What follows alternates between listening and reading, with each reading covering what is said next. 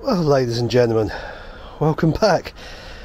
Ah, sorry I haven't been uploading lately, but um, after my holiday, um, yeah, I seemed to catch the flu, and it really just only just starting to get over it after quite a few days in bed. Anyway, here's the smart. Um, still waiting for the key to be sorted out on it. Um, a friend of mine who owns the Market Cobbler in town um, should be hopefully going to sort it out today or tomorrow. Uh, he has got the equipment to recode the keys, so uh, hopefully we should get uh, get it running.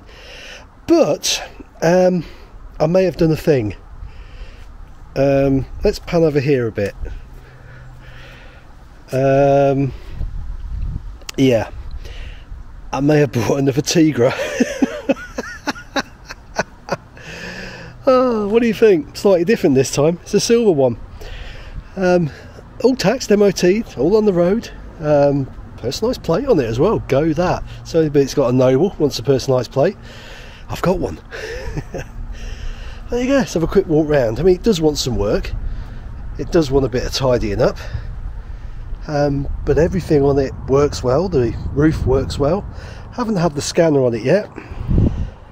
I've got it delivered um, today, and I haven't really gone for anything more than a quick drive around the block at the moment. But everything seems okay. Sounds really sweet. Has got a few marks, like I say. Wants a few things touching up, but in all, not a bad car. Let me quickly take you inside as well. It has got the leather interior. Now, one of the seats, ah, I would take you inside, but it's locked. yeah, one of the seats unfortunately is a bit torn on the driver's side. It's had a patch put over it, but it doesn't look good.